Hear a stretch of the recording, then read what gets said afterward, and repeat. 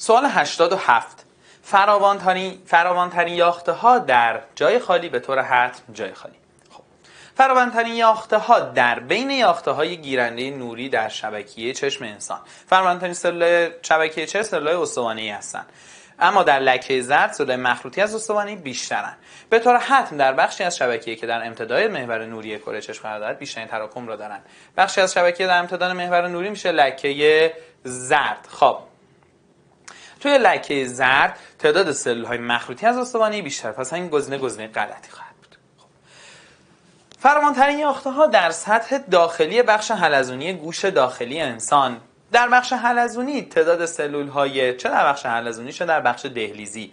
تعداد سلول های پوششی و سلول هایی که در واقع پشتوانه سلول های مژکتار هستند از تعداد سلول مژکتار بیشتر. یعنی تعداد سلول پوششی در حلزون و دهلیزی از تعداد سلول مژکتار بیشتره. حالا با این دیدگاه دو تا گزینه دو سه رو ببینیم. در سطح داخلی بخش حلزونی گوش انسان فراوانترین یاخته ها غیر مژک دارن به طور حتم با ماده ژلاتینی در تماس هستن و در تولید پیام عصبی نقش دارن. کاملا غلطه.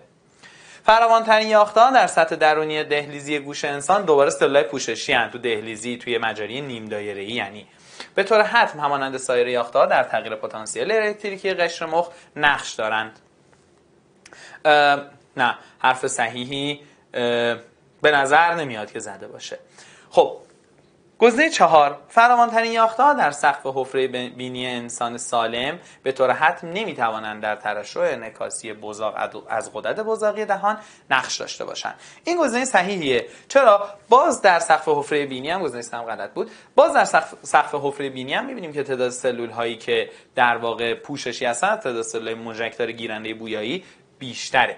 و سلول های موجب ترشح انعکاسی بزاق میشن. که به مربوط سلول مژکتور بویایی باشن چون اینا بو رو دریافت می‌کنن و میگه که یکی از عوامل ترشح بزاق در واقع بوی مواد غذایی خواهد بود. پس گزینه صحیح ما گزینه چهار خواهد بود.